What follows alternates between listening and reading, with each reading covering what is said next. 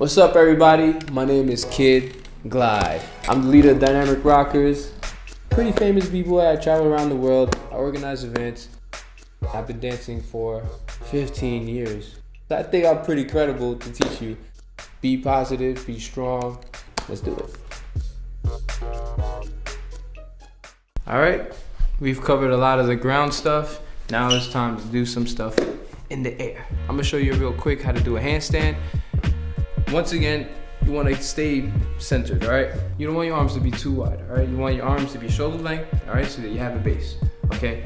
Now, this might be hard to do without the wall, all right? So first, I encourage everybody to go against the wall, the wall straight, and you want your back straight. You don't want your, you don't, nobody walks around like this. You wanna be straight. Just like you walk around, you wanna be straight like, like you walk, all right? So I'm gonna do it against the wall. You guys follow me. All right, see my whole body straight and you can practice going open and yeah. As you guys saw how I got up, I used my stomach to get up. I didn't throw my legs. You don't wanna throw your legs against the wall, all right? You wanna use your stomach, this is your core. This is where your power is. So, do it slow. There you go, good.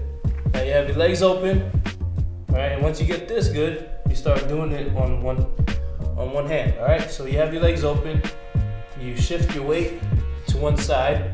See how my legs are coming down? I have a kind of an L shape, and you lift up one leg. I mean one hand. All right, you do the same thing on the other side. Oh, all right, you gotta work on your balance. Handstand is not a typical move a b-boy does, but is a basic. All right, from there, once you have a handstand, you have balance, you have strength to do other moves. So I encourage everybody to practice this, but then also practice basics for everything else, all right? Now, let's see it without the wall.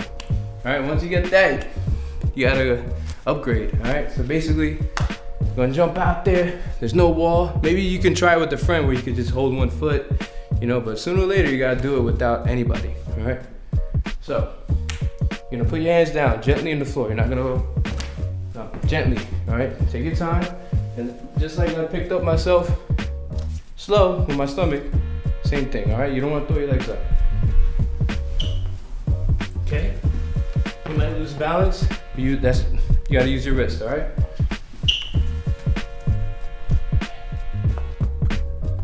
Open your legs, put them together, all right? and that's a handstand.